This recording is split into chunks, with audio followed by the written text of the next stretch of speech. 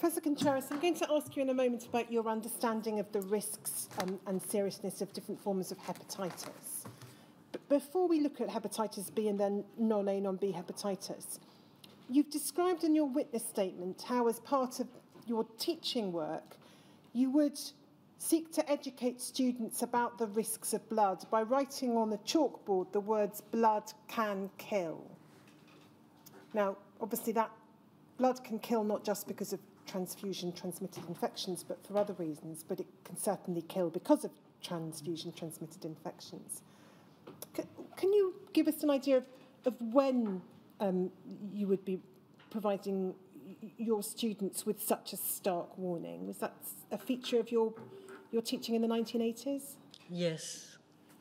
Um, and what was it that you were trying to get your students to understand?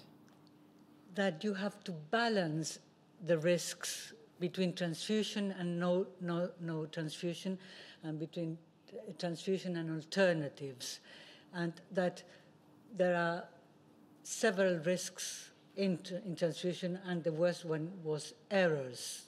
Uh, so I wanted them to understand that they had to think before transfusing.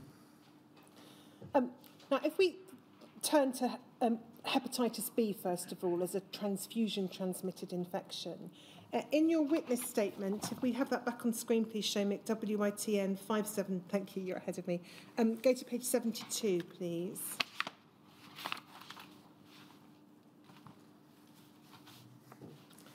you've, you've said in, um, under the heading hepatitis B that hepatitis B was something you were aware of, I think both as a, as a virus and in terms of its significance, its seriousness, from the 1960s onwards. Is that right? Mm, yes. And, and it was something which you understood could potentially be fatal? Yes. Um, now, we know that some form of screening of blood for hepatitis B was introduced in England and Wales in, in 1972. So by the time you started working at the North London Regional Transfusion Centre, there would have been testing for um, hepatitis B. What, what, can you recall what your understanding was of the sensitivity of those tests in, in the 70s and early 80s? Well, we later learned that they were not as sensitive. You know, the, the, initial, the initial tests were not as sensitive as time uh, evolved and, and we were getting better tests. So we realized that, the sensitivity wasn't as good as it could have been, but that was a problem with the technology that we had, the techniques that we had at, at the time. And, and when you took over as deputy director in 1980, can you recall um, which type of test the centre was using at that point?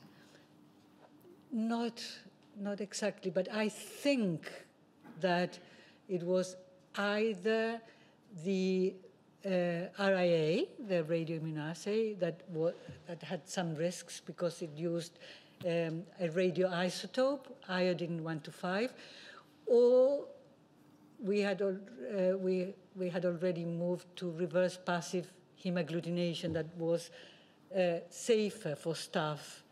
And uh, was, and then Dr. Barbara um, made it even, uh, made it more sensitive by diluting the, uh, and, and, using the technology from, that was used in hematology in microbiology and make it, make it, making it quite a sensitive uh, technique. So in, in terms of the, the, the changes in the testing techniques used, Dr. Barbara may be the person who'll be able to assist in relation to that. He is an expert in that. Um, but it, would it be right to understand that um, there would have been an awareness in the centre amongst you and your colleagues that notwithstanding um, the fact that testing had been in, in, in uh, in operation since the early 70s, there could still be cases of hepatitis B being transmitted through transfusion. Yes, yes, we learned that from Dr. Dane as well. That um, and even now, perhaps there are a few cases. Um, and, and just so that those following understand, Dr. Dane was based where? at the Middlesex Hospital. And his area of expertise was? Hepatitis, and he was the discoverer of the um, surface antigen of the Dane particles. Uh, yeah. Um, now, if we then turn to non-A, non-B hepatitis, um, it, and if we, uh, if I ask you to go back in time, as it were, to say 1980 when you became deputy director at, at, at the centre, uh, is it right to understand that you'd have been aware by that point in time that there was something that was termed, for want of a better description, non-A, non-B hepatitis? Yes. And it was by then understood that um, um, uh, uh, some, perhaps most cases of post-transfusion hepatitis would be attributable to non-A, non-B hepatitis, whatever it was, rather than hepatitis B? Uh, yes, but we had so few cases of post-transfusion hepatitis in, in, in those days that, uh, yeah, some of them were still attributed attributed to hepatitis B and some to non-A, non-B. Um, now, in, in terms of your understanding of the potential seriousness of non-A, non-B hepatitis, you've described in your witness statement how your understanding changed over time, essentially through the course of the 1980s. I'm, I'm not going to go through everything you say in your statement, but you've drawn attention to, um, um, and you're not the first witness to have done so, to the publication of, of uh, Sheila Sherlock. Um, so if we could have Shomic WITN 4032023.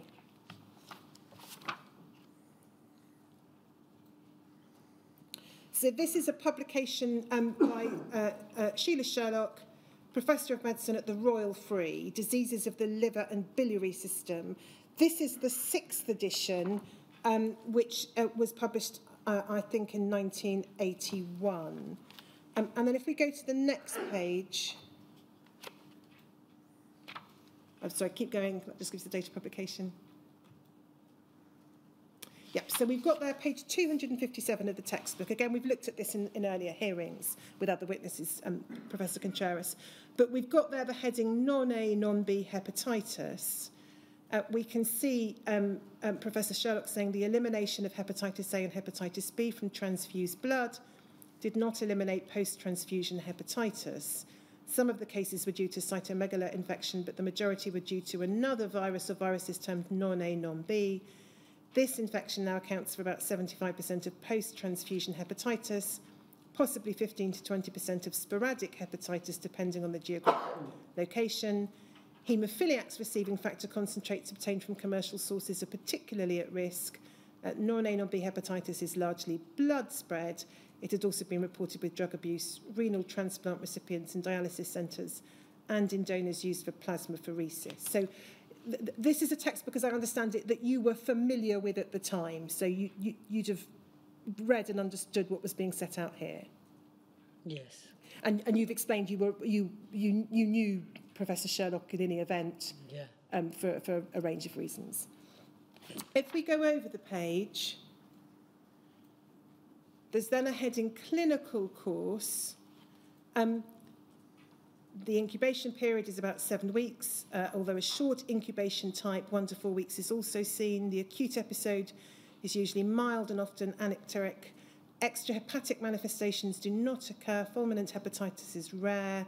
The serum bilirubin and transaminase levels tend to be lower than with acute virus A or virus B infection. Uh, the serum immunoglobulin M is normal. The course may be prolonged with serum transaminase levels waxing and waning for many months. Mild chronic hepatitis develops in about a quarter. This usually improves the time. Circulating immune complexes may contribute. Cirrhosis can develop, just ask you to bear that in mind. And then if we carry on, in liver biopsies, in addition to the general, if we can go to the next page, features of acute virus hepatitis. The picture is of one of marked sinusoidal and portal zone cellular infiltration. Um, and then there's a description of other changes that can sometimes be seen. Non-A, non-B hepatitis often progresses to a mild chronic hepatitis. The prognosis of this is at the moment uncertain, but probably benign. Um, and, and you've drawn attention, I think, in your statement, Professor Contreras, to that, those last two sentences as, as representing, in part, your understanding that non-A, non-B hepatitis um, was not necessarily as serious as you later understood it to be. Is, is that right? Yeah, and yes, and, and and, and we didn't see that much of post-transfusion hepatitis because she was talking about the general problem of uh, uh, non-A, non-B post-transfusion, and he, she includes in that uh, hemophilia patients. And I was, yeah, I was talking more of the transfusion of labile blood components. You know. Um, now, th those last two sentences, the, the, the prognosis of this is at the moment uncertain and probably benign. As I read it, is talking about the mild chronic hepatitis that might develop. So um, it, um, the mild chronic hepatitis might be un un uncertain, prognosis uncertain, probably benign. Yeah. But reading the passage as a whole, you would also have understood that non-A, non-B hepatitis could lead to cirrhosis and had been observed to lead to changes in the liver. Is, is that fair? Yes, but this is in the acute phase, and then, then he said that the majority of them improved. So uh, the changes in the liver were, were in the acute phase and in, well, in, in the multiple, multiply transfused you know, she didn't see, she, she, she was referred patients from all over the world, uh, Professor Sherlock. You know, you went to her clinic and it was the United Nations there. So she, she saw a selected uh, patient population.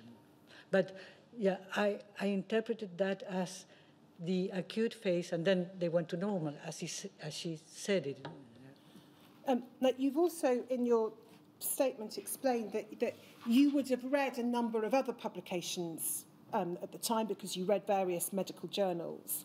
Um, and you tell us you, you, you believe you would have read, um, there's an article by Purcell and Alter that you've referenced, and indeed the inquiry's looked at on a number of occasions in its hearings, uh, um, an article by, or, by Dr. Craske in the mid-70s, um, and Dr. Preston's 1978 a, a publication. So you, you think you would have read those at the time? Yes. I... Um, if we look at your statement, um, Shomik, can we have a? May, may I, I just ask one question? Can we just go back to, to that passage? WITN 4032023, Shomik.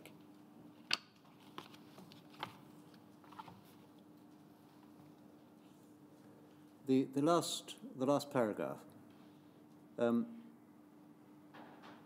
it, she isn't saying that non-A, non-B hepatitis normally resolves in its acute phase, is she?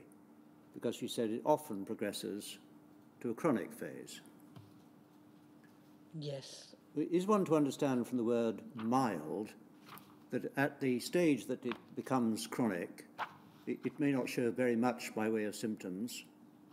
Yes but one doesn't know, the next sentence is one doesn't know what may happen after that.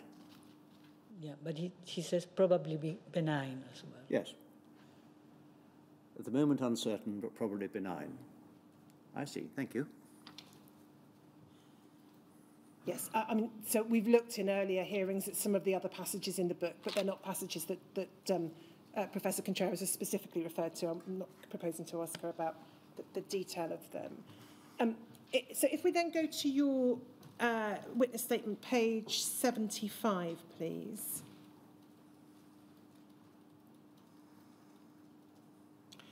Um, uh, so you've, you've described in the preceding uh, paragraphs in your statement the way in which subsequent editions of Professor Sherlock's book um, um, described non-B non hepatitis in in, in different terms. And then in paragraph 300, you say you're aware of publications which express contrary views, which you would almost certainly have read at the time, and then there you give three examples um, that the inquiry has, has previously examined. And then paragraph 301, you say this, I've reflected back on these publications. My interpretation today has not changed much from one I had when I first read these papers. They do not point to serious chronic effects of non-A, non-B hepatitis. situation in the USA was different from the UK, as the incidence of transfusion-transmitted infections has always been higher there. now, just, just pausing there, if, we leave aside the question of incidents and the, the fact that there are more cases reported in the States than the UK, which are, you may well be right about, that that's why would that be relevant to an understanding of the seriousness of non-A, non-B hepatitis? Uh, no, that, that wouldn't. The incidence would not. Yeah. Um, and, and then you go on to talk about in, interpreting Dr. Preston's findings, the biopsy findings, which he described in that 1978 publication, as something particular to patients with haemophilia, i.e., if we go over the top of the page, something related to repetitive immunological assaults. The paper by John Craske also dealt with patients with, with, with haemophilia. Um, did, did you therefore, in your own thinking at the time, and I appreciate I'm asking you to go back to a point in time at which your understanding was different from how, how, how, how it is now, but did you therefore read these papers, do you think, as saying that the, the, the, the changes reported uh, by Dr. Craske, Dr. Preston, were not viral in origin? Was, was that your understanding when you refer to it might be related to repetitive immunological assaults? Yeah, that might not have been viral in origin. Uh, and if they were, that they were so repetitive that, that, uh, that the viral load was so high that it was different to somebody who was transfused with two or three units of blood. Do, do, do you recall whether um, that way of, of, of looking at these, these, these publications, these studies, was something that was discussed by you with colleagues, whether within the centre or, externally? Were there virologists or, or indeed haemophilia clinicians with whom these, these issues about non-A, non-B were discussed at the time? Yes, I vaguely, I, I vaguely remember discussing, I, I think it was with Eric Preston, that I said, well, couldn't, and in some of, some of the papers that I, I, I read, there was this view that it could be an autoimmune disorder, uh, that it was different. And uh, yes, and I knew John Craske as well, but I cannot remember discussing very well whether, but there was some, there was a view that it could, the, the hemophilia patients had more, uh, a greater Im immunological assault, regular immunological assault. So what you described in your statement is you forming your own views and understanding of the, the significance of these different studies, your own understanding of seriousness of non-A, non-B hepatitis.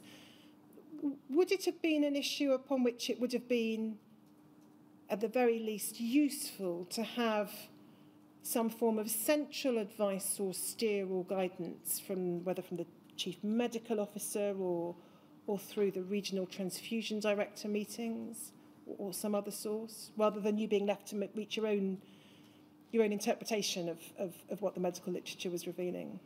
Yes, yes, perhaps it would have been useful to have some uh, central ad advice of experts or uh, advice the CMO. Uh, but my problem is that we were not seeing uh, the the problem that my hemophilia director colleagues were seeing. Um, uh, what you say, uh, just picking up upon that to, to some extent in paragraph 302 of your statement, you say, it's fair to say that my knowledge evolved over time with respect to the seriousness of this virus because it takes a very long time for it to show its severe chronic effects in a proportion of infected subjects. Hence, I could not see at the time an obvious health problem in the population and did not do so until the effects of the virus began to manifest um, much um, later in time.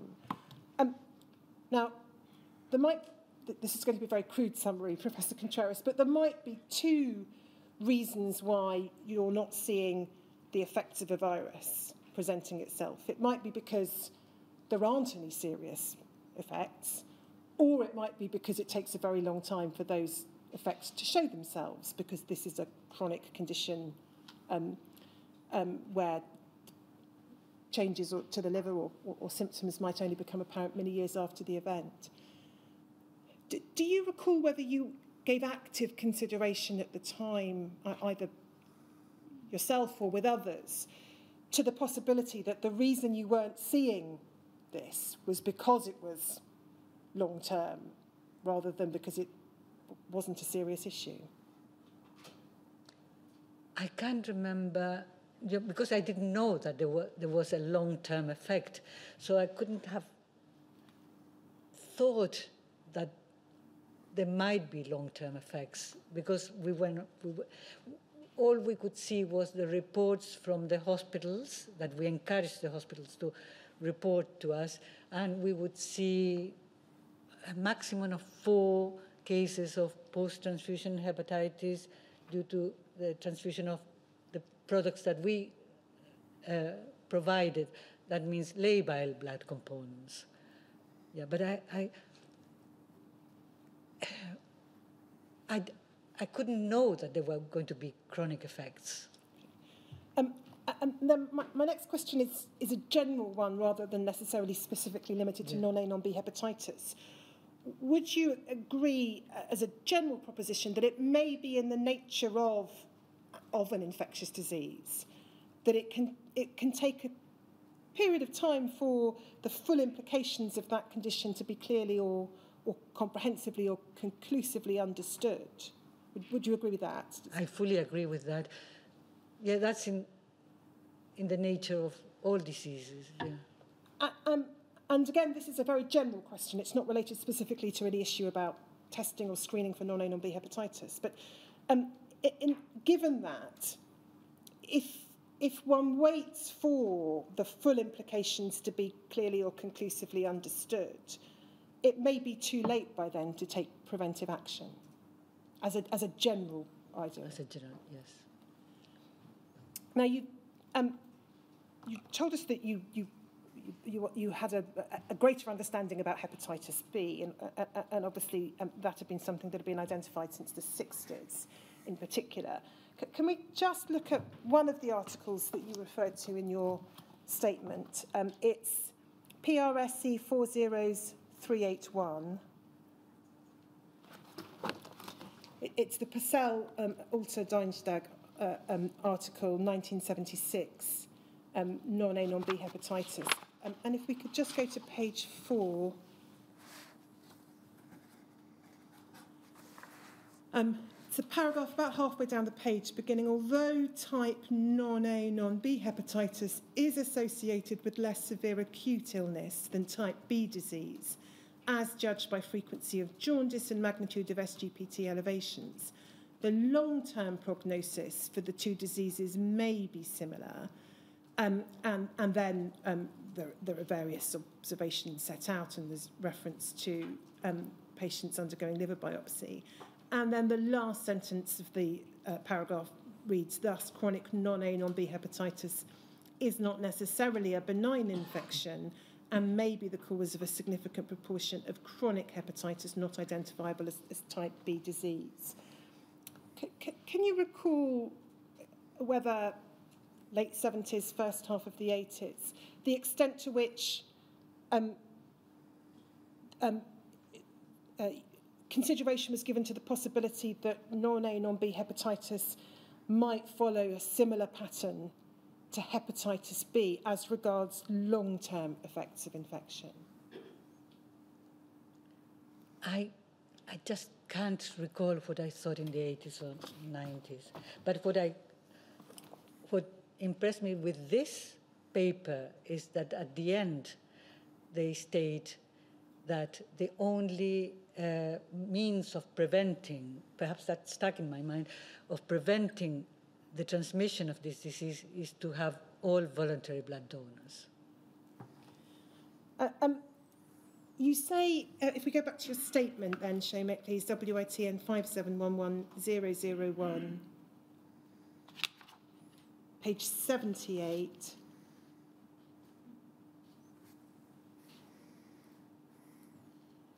Um, and it's just, just the first sentence of paragraph 315 at the bottom of the page.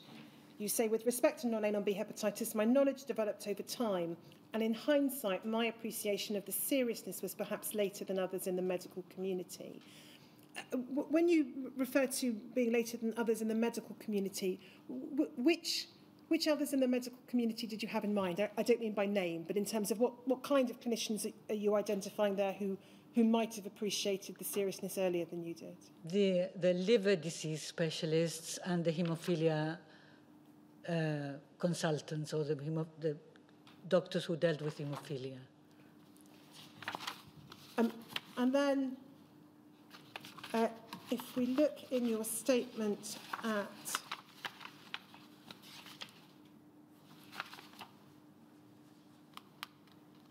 um, page 86, um, paragraph 339, you refer to your, that your view did change over time, gradual appreciation that non-A, non-B hepatitis infection could in fact lead to chronic liver disease. Um, and, there, and you talk about science and medicine being evolving subjects, and then you say when the evidence was available, my view did change, but this took some time.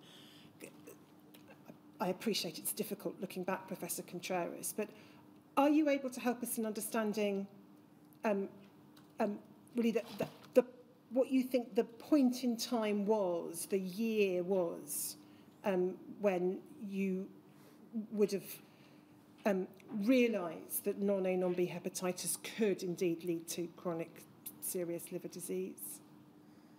No, I cannot. I would be speculating. Uh, um, I appreciate it's a difficult question. If we just go back to page 75 of your statement, paragraph 299, you point there to the eighth edition of Professor Sherlock's book, the 1989 edition, um, and you've um, uh, set out a, a summary of what was said there. Uh, you said there in the last sentence of that paragraph, I think this is really when I began to appreciate the true significance of non-A, non-B hepatitis. So is that, um, would that be your best estimate, that it's probably around 1989? Yes. Um, now, I want to come on to ask you now about the processes for donors to give blood and, and the, the donor screening processes at the North London Regional Transfusion Centre. Uh, um, in, in, we can take the statement down, thank you, Shemik. Um, how would you decide roughly how much you needed to collect in terms of, of blood? How many donor sessions you might need to hold or how many, donations you might need to try and gather? Uh, well, with our team and our donor organizer. And it, we based it on historical data, as you saw with our business plan, uh, and also in consultation with the hospitals. We had very strong links with the hospitals. So, uh, and we had our predictions on how much we, we would need. But I wouldn't do it on my own. I would do it with my team of, of consultants and managers and uh, donor organizers. And, and is it right to understand that in terms of numbers of donations, you, by which I mean the centre, set its own targets? Yes, yes.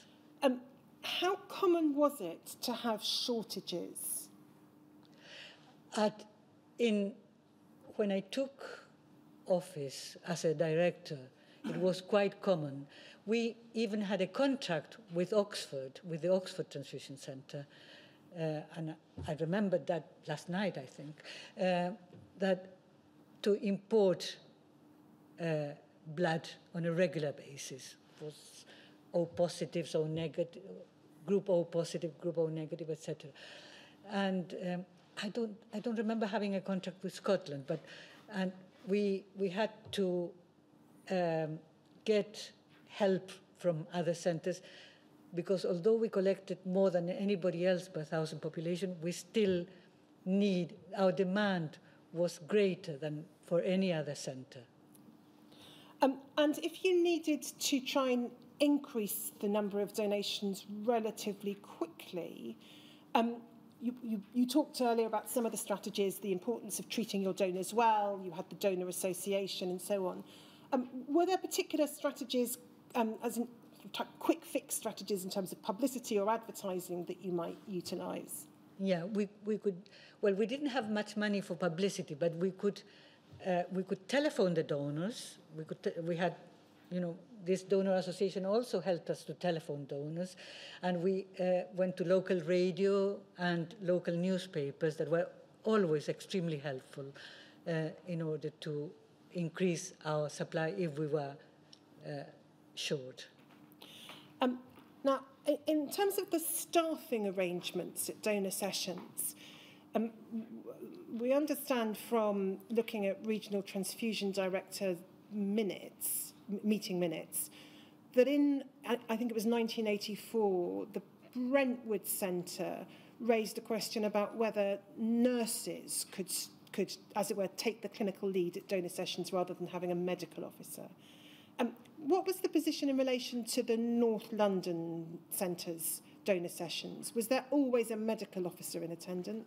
Yes, before Jean Harrison's uh, brilliant idea to have nurses in teams, uh, we had medical officers going to every mobile collection team and to every static clinic. Okay.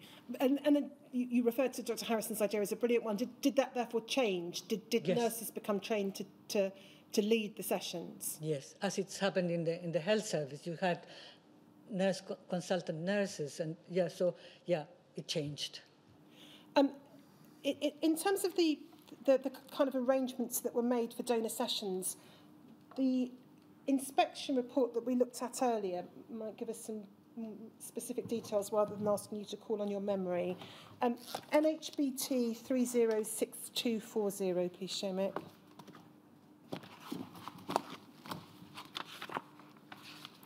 So you'll recall we looked at the first page of this inspection report earlier. Um, if we go to page four, bearing in mind this is 1989 and, and things may have changed, but we, we've got a description under the heading Inspection, Blood Collection and Receipt um, about um, the, the donor sessions. So it says blood collection takes place at 28 mobile sessions per week, including five using the special Bloodmobile truck, in addition to the static donor clinics at Deansbrook Road, Edgware, the West End Donor Centre in Margaret Street and in Luton. Um, and then it refers to a, a mobile session taking place in a, um, in, in a particular factory. Um, so uh, throughout the 80s, is it right to understand that there were three static donor clinics? Yeah, yeah. The, the Luton clinic came into effect when I, when I was a director. Um, and so those were, were permanent clinics? Yes. Um, where uh, members of the public would turn up to, to donate blood. Yeah. And then in terms of the mobile sessions, um, what kind of locations did they go to? Were they usually workplaces or would they also be community settings? Everywhere. Wherever we could find uh, a hall that was large enough and the will of the managers. We went to churches, we went to universities, we went to hospitals, factories, um, and we had the blood mobile that we stationed. Uh, and at the, at the, two, at the three static clinics, we dealt mainly with plasmapheresis and platelet. But we also had walk-in donors and uh, panel donors.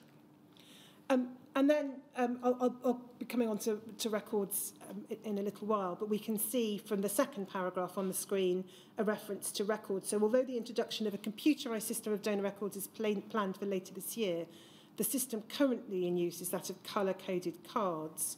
The record cards for all the donors on the appropriate panel are brought to each session.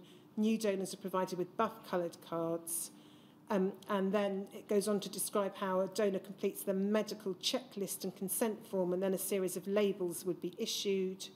The donor's name and blood group, that presumably is manually recorded. Um, barcoded donation number labels are attached. The donor's given their record card and the remaining barcode labels, and then they proceed to go to an, another table where their hemoglobin is tested.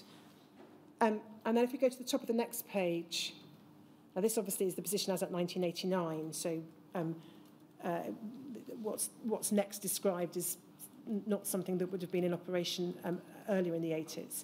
But it says at this stage, donors are given the opportunity of confidentially identifying themselves as members of high-risk groups for AIDS. This system is unique to NLBTC, involves the donor ticking yes or no on a questionnaire asking them if they belong to one or more of seven defined risk groups. The questionnaire is ticked in a polling booth type cubicle and is posted into a ballot box.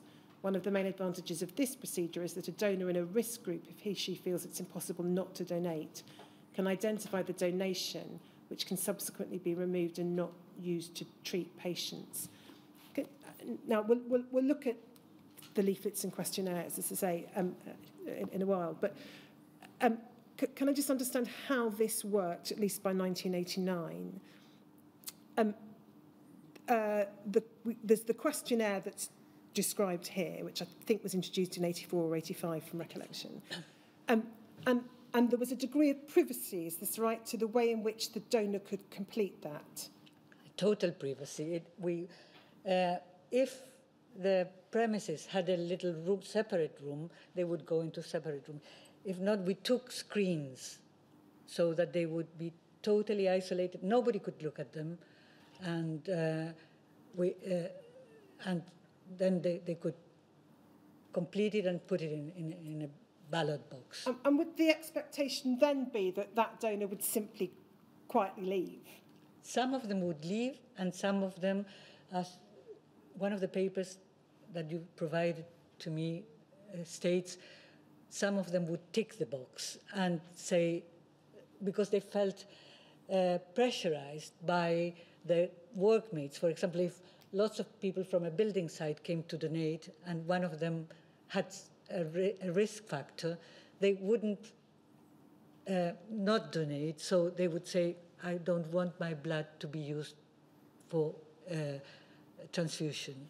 I see. So they could still donate and therefore save face, as it yes, were. yeah, but, But the majority of the, The questionnaire would have had the barcode, one of the barcode labels affixed to it, so you Yeah. could identify that this was a donation where the donor had ticked Yeah. yes to being in a high risk group, and so the donation could then would then subsequently be removed. Um, and that's then, I think, the explanation for the last sentence of that paragraph. One of the main advantages of this procedure is that a donor in a risk group, if he, she feels it's impossible not to donate, can identify the donation, which can subsequently be removed and not used to treat patients. yes. Fine. And then the, the description that continues is the, the donors are then led to a bleed bed by a donor attendant, and then the, the donation is taken.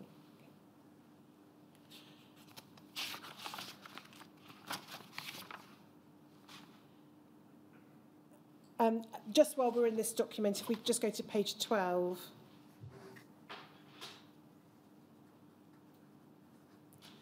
This is about what subsequently happens uh, uh, and the inspection report describes the various stages that are, that, that, that are undertaken. So this is about a later stage um, uh, uh, when the products are ready for issue. Um, just picking it up in the second paragraph under the heading Blood Bank and Issue. Um, I asked you earlier about, about the arrangements for supply of products to hospitals. This describes that orders for blood and products are either standing regular orders or telephone orders. When hospitals phone in an order, a clerk notes the request on a notepad, transcribes it onto a duplicate order form, the, uh, then a copy given to the issue department. So does that reflect what you referred to earlier, where you'd have, you, you'd know that there, was, there were orders that were regularly being sent to Great Ormond Street or the Royal Free, but if they needed something more or something extra, they would phone in the, Yes. the hospital blood bank and then it, the arrangement would be as described here. Yes. Um, can we then look at some of the documentation relating to donor screening? Can I just say Yes. that this document, I, I just glanced at it, sees, uh, shows the difference that we had at different centers because we decided, after having done some trials, that we would not use lignocaine at donor sessions because uh, an anesthetic, a local anesthetic, because uh, it, it was better to just go into the vein, and, uh, and donors preferred it. So that showed how different, different transfusion centers were. So, Shebet, could, could we then go to PRSE 304358, please?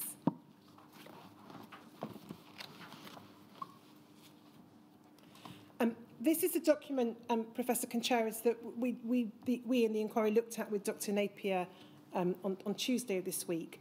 So this is the 1977 Memorandum on the Selection, Medical Examination and Care of Blood Donors. Um, and so this would, I think, be the, the guidance that was in force when you became Deputy Director in 1980. There, there were then various other versions of it in the course of the 1980s. Um, if we go to um, the page three, bottom of page three, we can see under the heading jaundice or hepatitis, this records that individuals who give a history of jaundice or hepatitis or in whose blood anti-HBsAg is present may be accepted as donors, providing that they've not suffered from jaundice or hepatitis in the previous 12 months, have not been in house contact with hepatitis or received a transfusion of blood or blood products in the previous six months, and provided that blood gives a negative reaction for the presence of HBsAg when tested by a sensitive method. Now, I'll, we'll come back to this issue in a few, few minutes, Professor Contreras, but was it your understanding when, when you became Deputy Director in 1980 that, that at the North London Centre this was the practice, Yes. um, that, uh, that if you'd had hepatitis or jaundice um, in the last 12 months, you would be deferred and you would be asked to come back at a later stage. But if you'd had hepatitis or jaundice two years ago, five years ago, 10 years ago, you could be accepted as a donor. Yes. Um, if we go over the page, please, there's a heading examination of the donor. And if we pick it up at paragraph two, it says the medical history should be coupled with a careful assessment of the donor's appearan- appearance. The experienced doctor can detect at a glance the potentially unsuitable donor. And then the, there are some examples given poor physique, underweight, debilitated, undernourished, mentally unstable, those bearing the obvious stigmata of disease should not be bled. Um, would the arrangements at the North London Centre's donor sessions have in, um, meant that there would be a doctor who should be an experienced doctor at every donor session? Yes. Um, how, how realistic was it to, to expect a doctor to be able to detect at a glance the potentially unsuitable donor? Well, we, we expected that the majority, well, all donors are voluntary donors, so they are all in good health. They feel uh, okay to donate, you know, and the majority of our donors are repeat donors as well.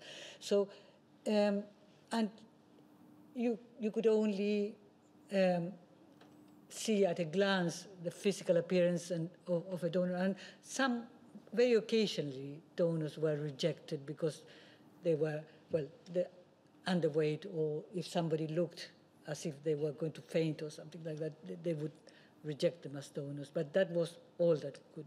You, you cannot really uh, predict that somebody has a hidden disease. Not, not a GP could do it even after an examination. Yes, so, so for the most part, even the experienced doctor is not going to be able to look at a donor and know you've got hepatitis or you've, Oh, no. or you've, you've, be, you've got HIV. Yeah. Um, now, if we then just go to DHSC 00033734 underscore 066.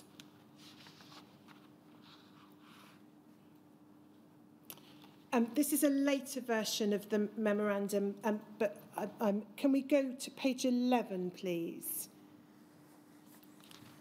Because what it's got here are the forms that I think were introduced with the 1977 memorandum.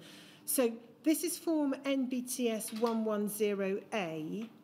Um, and is it right to understand that um, at the North London Centre, this is a form that would have been given to all donors? Yes. And so uh, it says if it asks them to tell the clerk if they've recently been in contact with a case of infectious disease or had any inoculations or vaccinations. It identifies certain illnesses which mean that they cannot donate. And then it says if you've had any of the following conditions, please declare this and a decision will be made in your individual case by the doctor. And then the list includes jaundice or hepatitis in the last year or contact with a case within six months. Now, would it be right to understand that, um, therefore, the blood donor reading this would only need to declare jaundice or hepatitis if it had been in the last 12 months? Yes. So this form wouldn't pick up any older cases of jaundice or hepatitis. No, it wouldn't. And then if we go to the next page, um, this is a slightly more indistinct form, but this is the form, um, uh, we look halfway down the, sorry, Shemik, if we actually go halfway down, uh, if you keep it like that, you've got NBTS 110, and, and again, we'll see a reference in, in various communications that you have, Professor Contreras, to form NBTS 110. Um, uh, and then it, as I understand it, if we look at the, the, the, writing below this, there's a session date, uh, sorry, session location is completed, a date, and it says to all blood donors, please sign below to show you've read the accompanying notice NBTS 110A. So the donor was required to sign this to show that they'd read the form that we've just looked at. Yes. Um, and that was again, I, I think we'll, we'll come on to some of the, the, the tweaks that were made by North London to the form, but this was essentially a standard form across all, all regional transfusion centres. Um, now, we, we, we can take that down. Um, we, we know, Professor Contreras, that the decision to readmit to the, to the donor panel donors who had um, had jaundice or hepatitis um, longer ago than, than, the, than the last 12 months was a decision made by regional transfusion directors, I think, in 1977 or thereabouts, um, following the advice of an advisory group on testing uh, uh, for hepatitis B surface antigen and its antibodies. Um, and so it's before you, you took up your role as deputy director. But do, do you recall having any concerns about that practice, that, that those with a history of jaundice or hepatitis could freely donate and didn't have to declare even that history?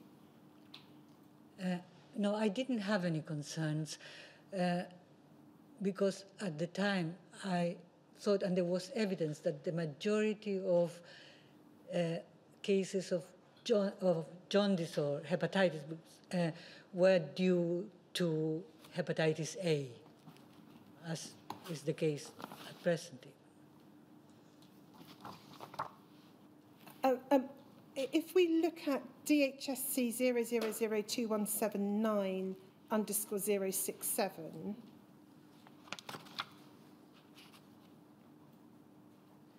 This is a 1976 publication, so again, it predates your appointment as Deputy Director in 1980.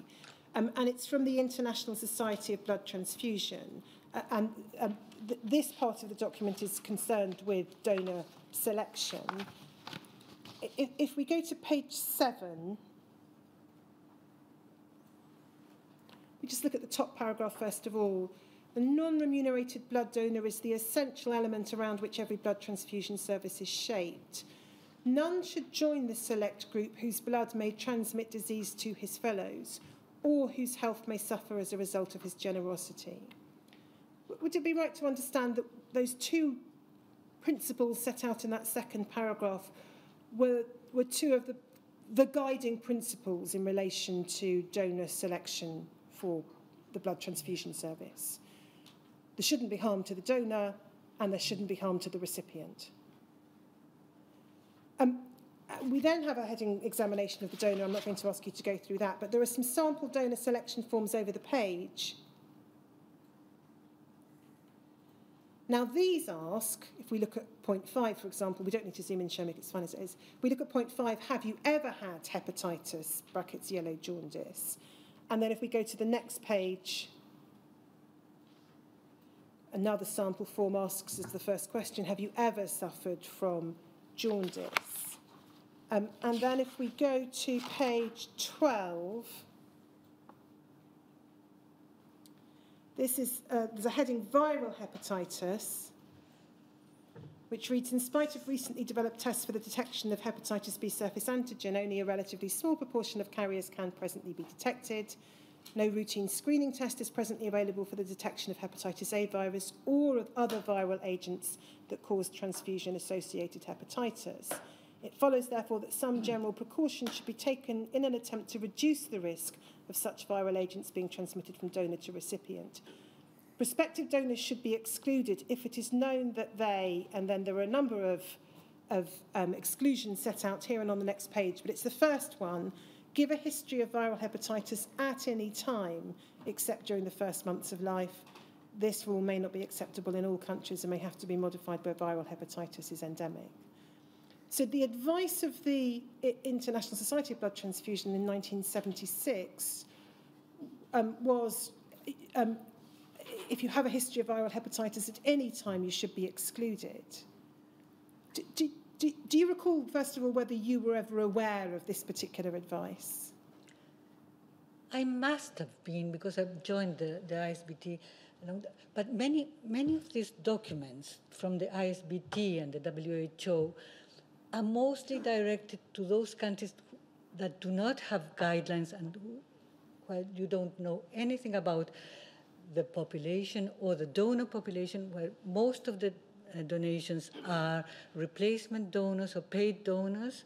You know, I was a president of the ISBT, so I remember doing uh, writing not myself but signing to guidelines uh, from or, or the WHO.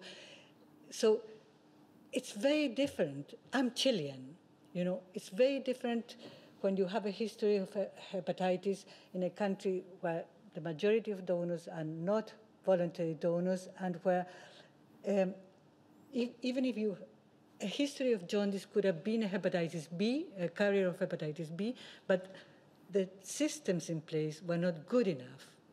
And uh, lots of times in the developing world, you just couldn't test properly or you didn't have kits. So you have to have a belt and braces approach. And this was international. So it had to be for African countries, South American countries, Asian countries as well. Uh, it wasn't really meant uh, for countries like the UK.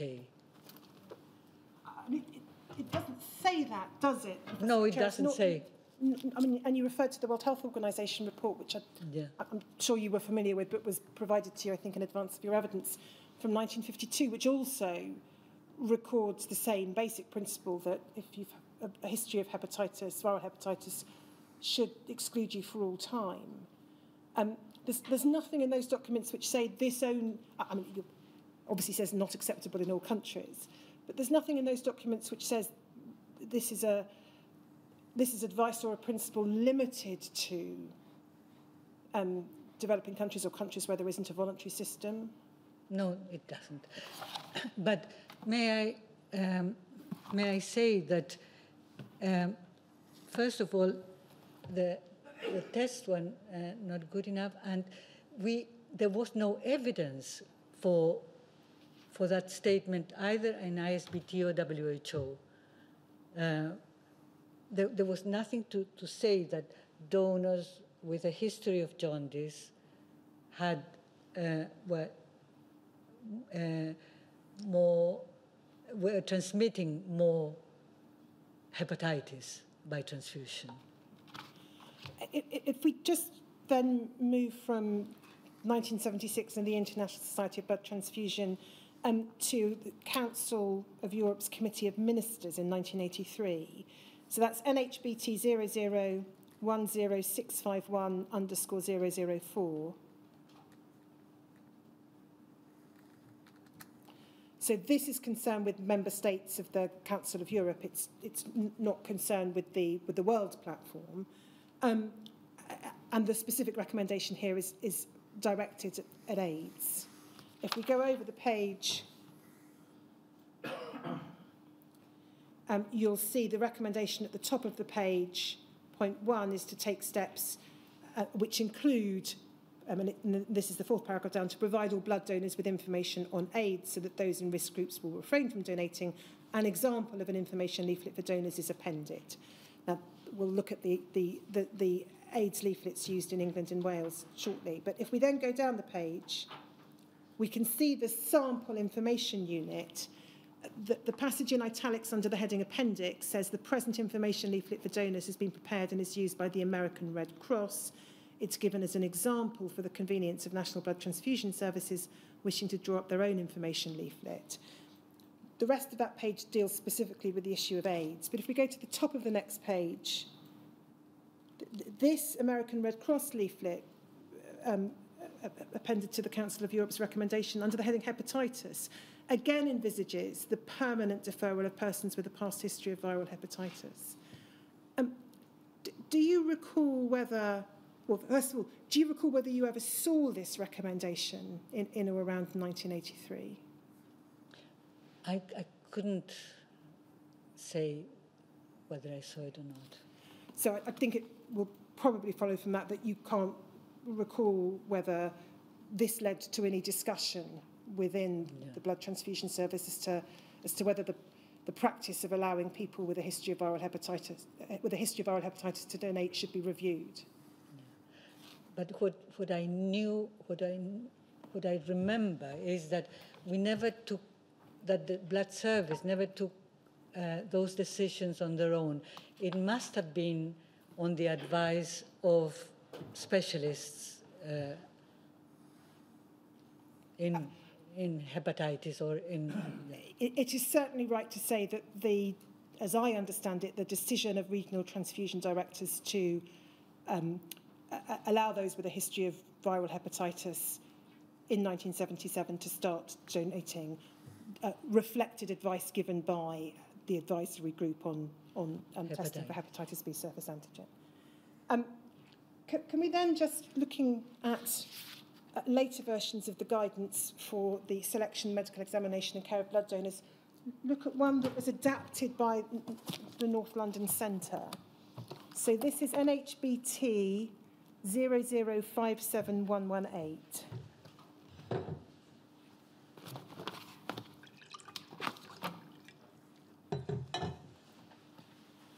Um, so it's headed North London Blood Transfusion Centre Guidance for the Selection, Medical Examination Care of Blood Donors, compiled 1985, revised April 1987.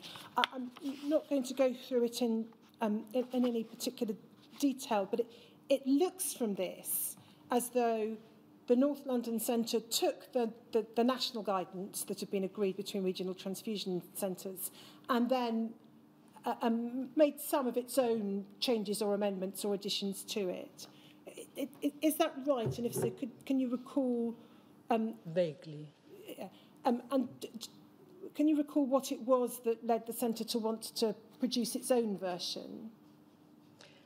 I, I think one of the issues was that they want the the guide, the national guidelines wanted the donors to sign that they were not in a high risk group of transmitting an infectious agent.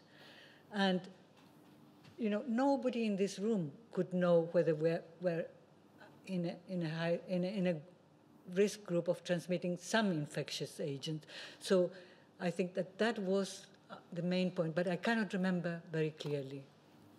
Um, just on that point you've made, um, Professor Contreras, I think there's some correspondence between you and Dr. Gunson that may deal with that issue. NHBT 0009866.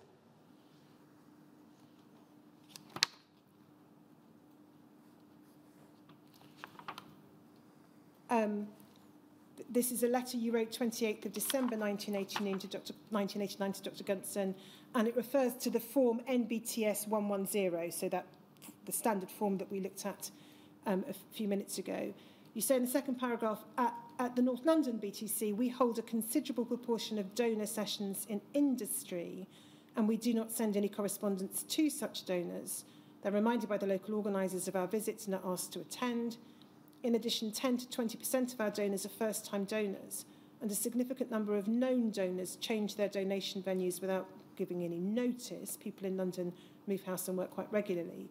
These are the three main reasons for donors arriving at a session without having had the opportunity of reading the AIDS leaflet. We would need to have a member of staff acting as a receptionist at all donor sessions, ensuring that all donors read the leaflet before they're asked to sign form uh, 110. And then if we go over the page, we've discussed NBTS 110 at length with the consultants at this centre. We'd all oppose number five in your revised form. I'm afraid we don't have the attachments to match to that. Uh, we do not think that we can ask anybody to sign confirming that they are not at risk. Now, just so that I can understand what you were saying here, Professor Contreras, properly, you did ask donors to identify whether they were in specific risk groups. Is that yeah. right? So it might be, are you, are you homosexual? Um, uh, in the course of the 80s, there were questions about whether someone had been in certain parts of the world. Um, indeed, I think that was a feature of forms at various different stages. Um, intravenous drug use, sexual contacts of people who were in, in, in such groups. You'd ask those questions, is that yes. right? So is it right to understand the question that you were objecting to was a question which asked donors to confirm that, as a, that they were not at risk of of transmitting some uh, uh, an agent transmissible by blood. Um, you know, uh, because those those were the main uh, risk group categories, the ones that we said. But if you are the wife of a bisexual man, as we saw, uh, as we evidenced when we question, when we counseled our, our donors, uh, you, you have no idea that you are uh, in a risk group. So a number of uh, donors who come very willingly to donate do not know that uh, their partner might have been a drug addict or might have been at risk of HIV transmission. So we could not ask donors to to sign, I'm not at risk of transmitting anything.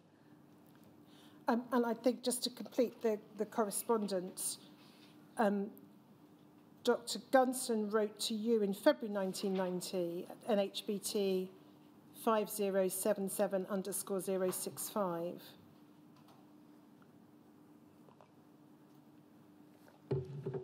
Twenty-sixth of February, um, dear Marcela, Roger, that would have been Roger Moore. Yes. yes. Has shown me your letter advising him that you do not propose to use the revised form NBTS 110 and instead you'll be using your own version. And then the paragraph, Dr. Gunson says, I don't have the authority to demand that you use a particular form for your donors to sign. All I ask is that you think very carefully about the action you take in this regard. And he makes the point that this is a form that's been agreed by a majority of regional transfusion centres you wrote back in March at NHBT 40189 underscore 079.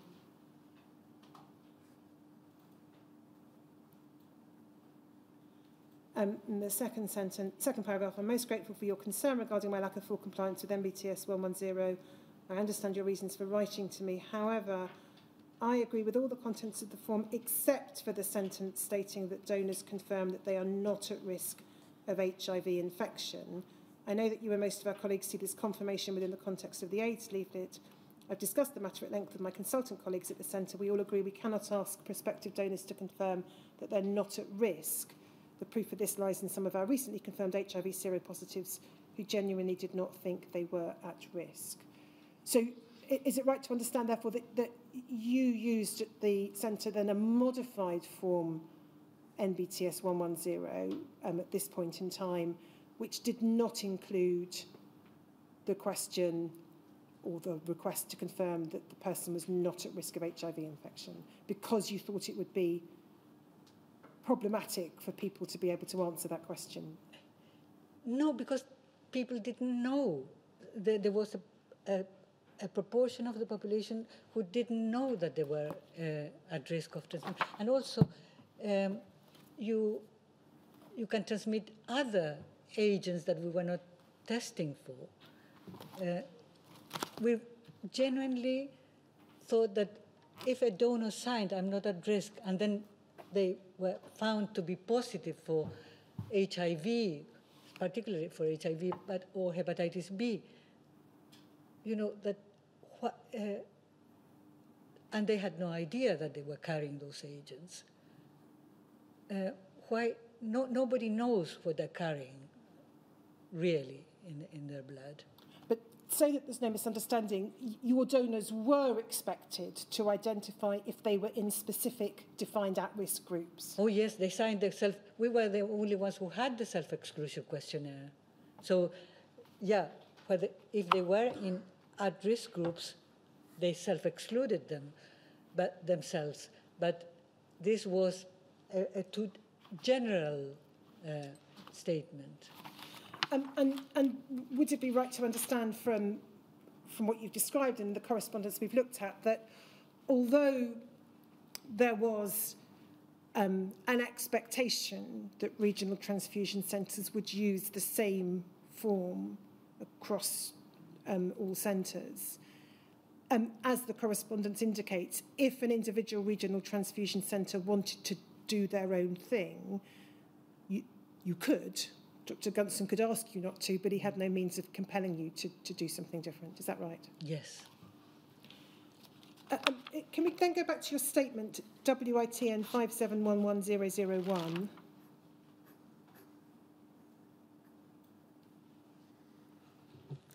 Um, if we look at paragraph 173, page 45, please.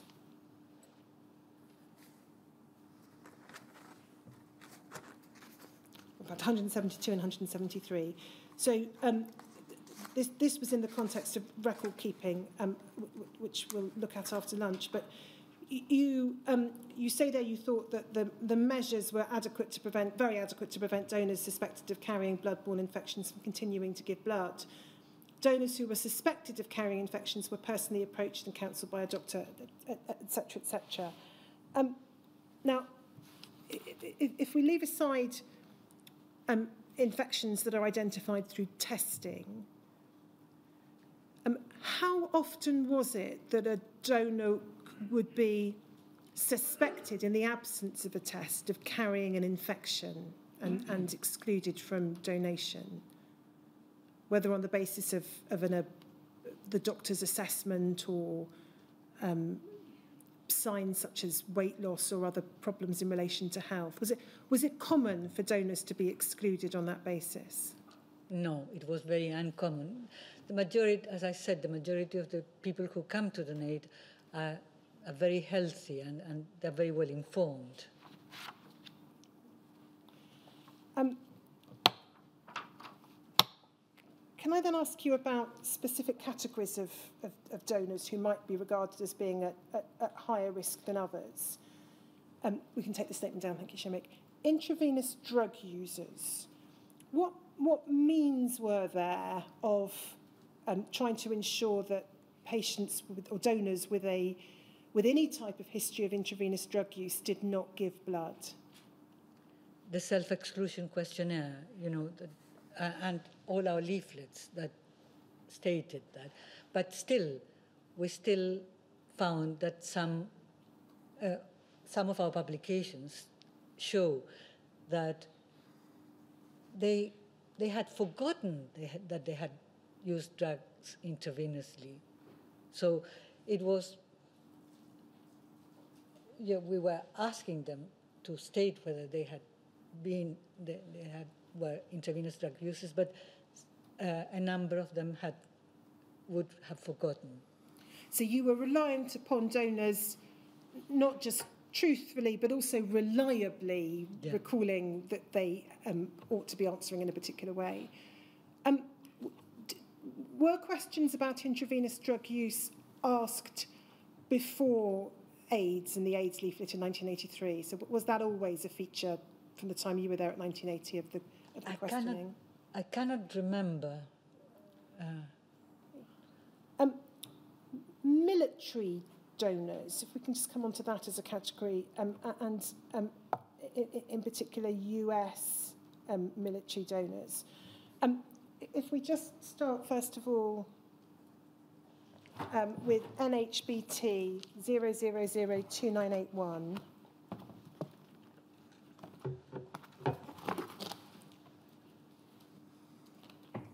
This is a letter 1990 to Dr. Uh, to Roger Moore, um, the National Director. This is from um, Dr. Hewitt. Um, but she records in the second sentence, we do collect a large number of donations from MOD establishments, so that would be British military establishments, presumably. Um, again, had that always been a feature throughout the, the time you were there of, of the donor sessions that you went Yeah. to m- military bases? Yes. Um, um, and then if we look at uh, NHBT 00047776,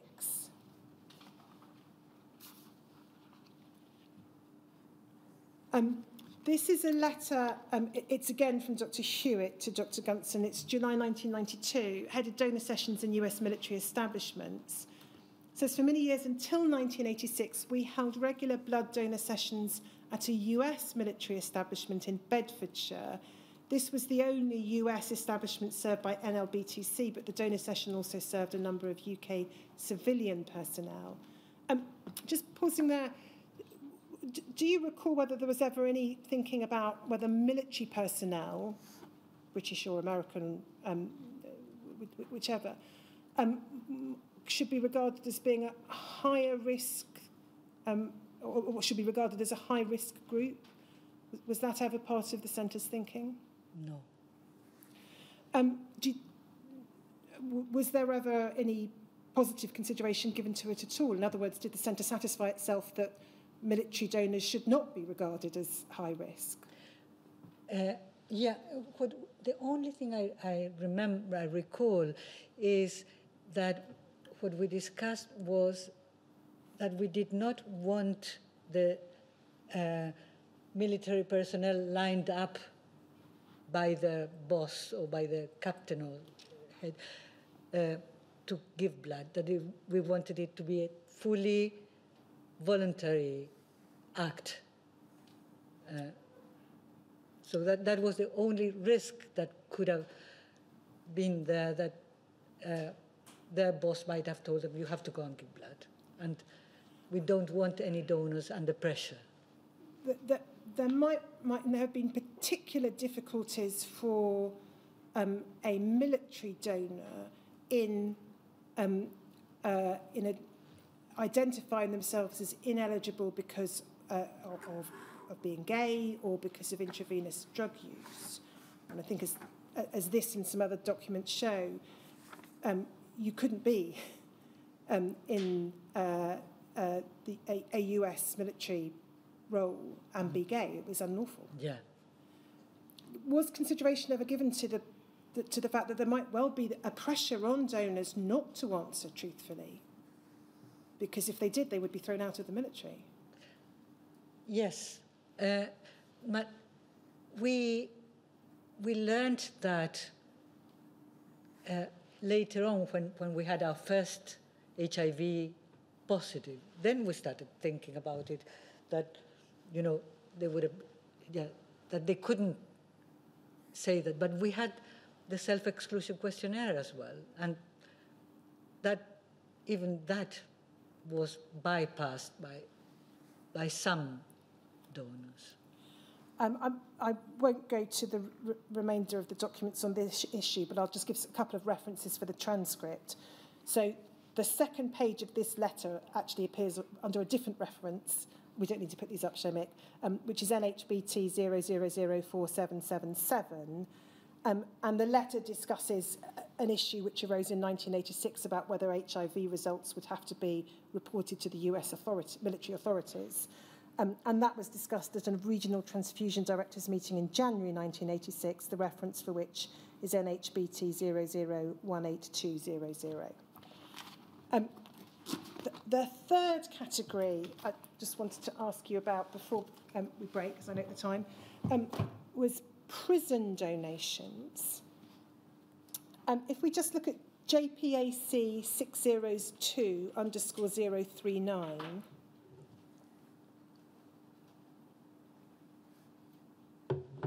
This is a letter from Dr. Barbara to Dr. Bird, a haematologist at the Churchill Hospital in Oxford, August 1994. And if we look at the third paragraph, it says this. Certainly prior to the introduction of HBsAg screening of donors in 1971, the prison population represented an attractive source of donors, a truly captive audience. But in North London, we noted HBsAg detection rates up to tenfold higher in donor sessions at prisons compared with rates elsewhere.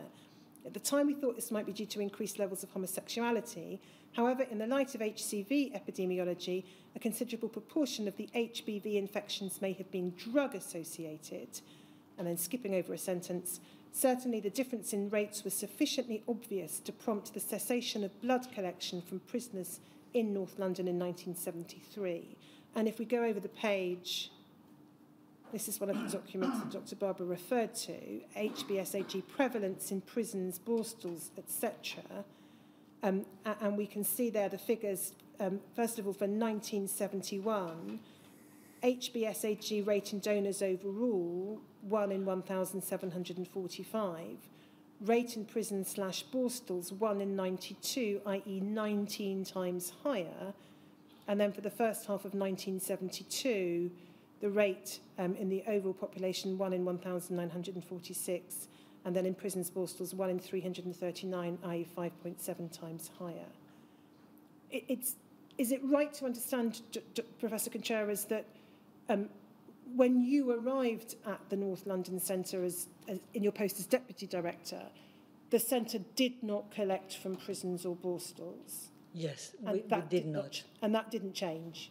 It did never, it never changed. And just one last document, um, if we may, MDIA 602.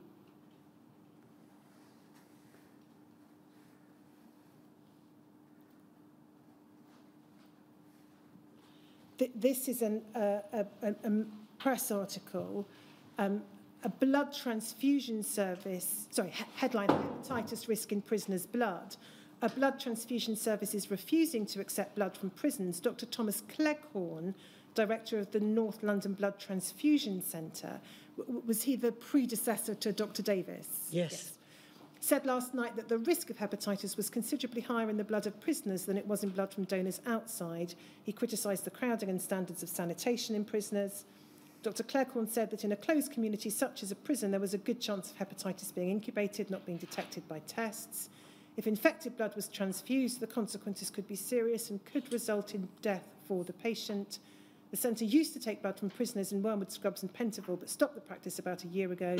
Dr. Cleghorn said last night that about 800 prisoners have been blood donors. He was concerned, he said, about the safety of the blood he was passing on and not about prisoners' rehabilitation. Um, we know from other evidence, Professor Contreras, that other centres continued to collect blood from prisons into the, during the 70s and into the 80s, with some not stopping until, excuse me, late 1984, possibly 1985. D were you aware of that? Yes, in, in a way I was, yeah. D do you recall whether um, regional transfusion directors were, were troubled by that? Was, it, was any step taken to try and persuade other centres um, to take a different course, either by you or by others? No, because I, I wasn't. That was never discussed at an RTD meeting that I remember. Uh, and, um, and because the decision had been taken before my time, um, I, I didn't. I perhaps knew something that they were collecting blood from from prison from prisons, but no, I can't I can't remember. And, and it's right to say you only became a, a director in February 1984, so yeah. you wouldn't have been attending the RTD meetings prior to yeah. that in any event. Um, sir, I've, I've um, gone past one o'clock, for which I apologise. Perhaps we could take our lunch break now. Uh, yes, well, we'll take a take a break. We'll we'll give um, everyone the full hour, shall we? Uh, and come back at five past two. So five past two, if you please.